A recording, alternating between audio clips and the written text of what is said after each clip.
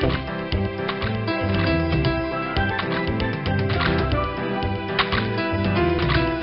for getting the flowers, Sam. sure thing, Freddy. They're wonderful. Gotta go, Sam. Oh, bye, Freddy. Whoa!